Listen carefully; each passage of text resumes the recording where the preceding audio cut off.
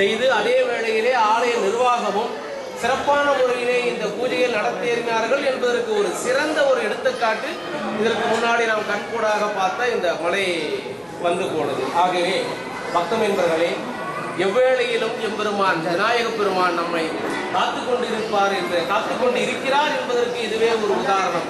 ஆகவே பக்த மீன்பர்களே இப்பொழுது அலங்காரம் நடைபெற்று அதனையடுத்து விசேஷ பூஜைகளும் அன்னதானமும் நடைபெற உள்ளது. ஆகவே பக்த அனைவரும் இவ்வேளையிலே கலந்து சிறப்பு கேட்கிறோம் நாம் பார்வதியே பதகே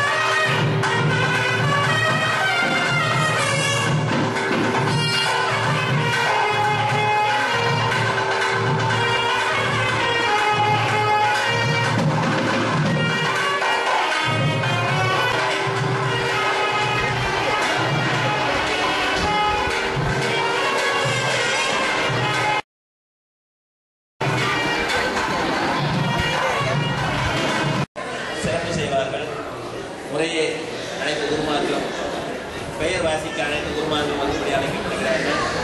முதலிலே சிவஸ்ரீ ரமேஷ் குருக்கள்.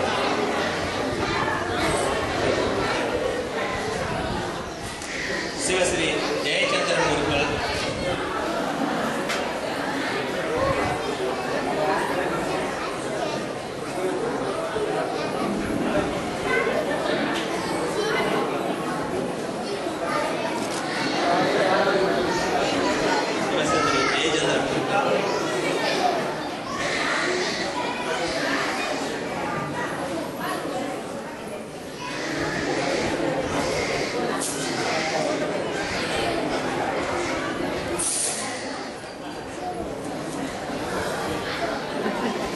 சிவஸ்ரீ முருகையா அவர்கள்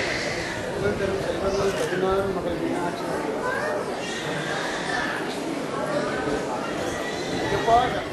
சிவஸ்ரீ சரவணன் அவர்கள்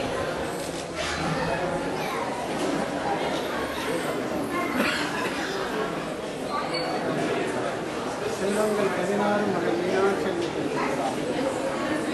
சிவஸ்ரீ சரவணன் குருக்கள் ரத்துபாட் சிவஸ்ரீ சிவமணி குருக்கள் ஆலய ஸ்தானிகர் சிவஸ்ரீ சிவமணி குருக்கள் புகழ்பெறும் செல்வங்கள் பதினாறு மகள் மீனாட்சி சிவஸ்ரீ மகேந்திரன் குருக்கள் சிவஸ்ரீ மகேந்திரன் குருக்கள்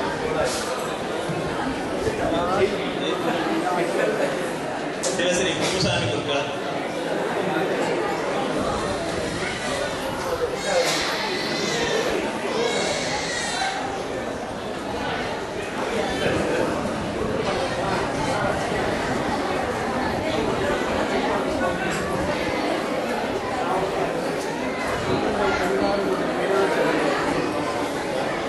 சிவஸ்ரீ குருசாமி குருக்கள்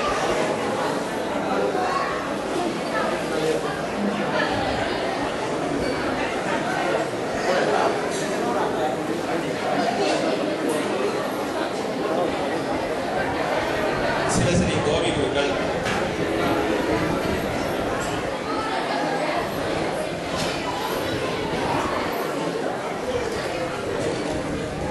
சிவஸ்ரீ தாமு குருக்கள்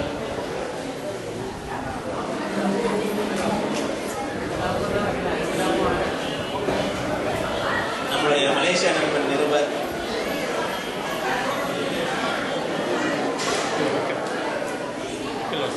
மக்கள் ஓசை நிருபர் தம்பி அவர்கள்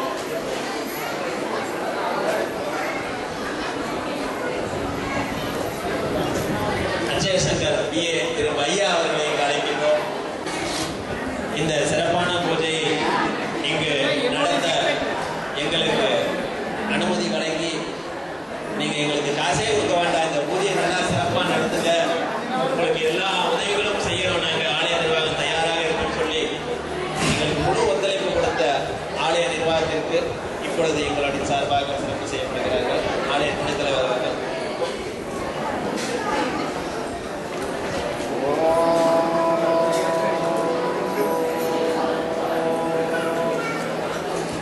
இந்த பூஜையை இங்கு நடத்துவதற்கு ஆலய நிர்வாகத்துடன் சேர்ந்து ஆலய மக்கள் சிவஸ்ரீ சரவணன் சிவம் அவர்கள் இந்த சங்கத்திற்கு மிக சிரமப்பட்டு நிறைய உதவிகள் செய்துள்ளார் அவரையும் தம்பி அவர்களையும் வேலையிலே நாங்கள் அழைக்கின்றோம்.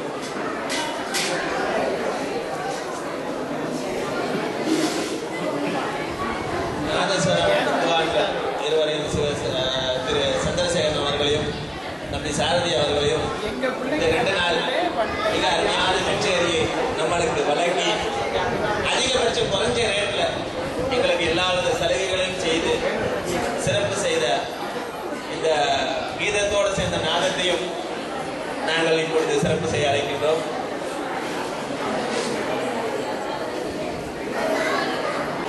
ஆலய நிர்வாகத்திற்கும் முக்கியமாக நுகூர் ஜெயா வட்டாரத்தில் உள்ள மக்களுக்கும் நுகூர் மாநில அர்ச்சக சங்கம் என்று இருக்கிறது என்று இந்த நிகழ்ச்சியின் வழி நாங்கள் இங்கு அறிமுகமாகியுள்ளோம் இனி வரும் காலங்களிலே வருடந்தோறும் இதே மாதிரி ஒவ்வொரு நிகழ்ச்சிகளை நடத்த ஆலய நிர்வாகம் எங்களுக்கு அனுமதியை இப்பயே கொடுத்துட்டாங்க. அதனால் இதே மாதிரி மேலும் பல நிகழ்ச்சிகளை நடத்து எல்லோருக்கும் எல்லாவித செல்வங்களும் எப்பொழுதும் கிடைத்திட வேண்டும் என்று எல்லாம் வல்ல அருள் பெற வேண்டும் என்று பிரார்த்தனை செய்து கொண்டு உங்களிடமிருந்து விடைபெறுகின்றோம். நன்றி வணக்கம். ஒவ்வொரு மாநில இந்து அர்ச்சகர் சங்க சார்பாக திருவாங்கையில் இயங்கி வரும் தாமு அனாதை இல்லத்திற்கு எங்களுடைய மாநில அர்ச்சக சங்கத்தின் சார்பாக ஆயிரம் ரெங்கீட்டை இதன் மூலம் நாங்கள் நன்கொடையாக வழங்குகின்றோம். இதன் வழி அந்த குழந்தைகளுக்கு எல்லா செல்வங்களும் கிடைத்த வேண்டும் என்று எல்லாம் வல்ல இறைவனை பிரார்த்தனை செய்து கொள்கிறோம்.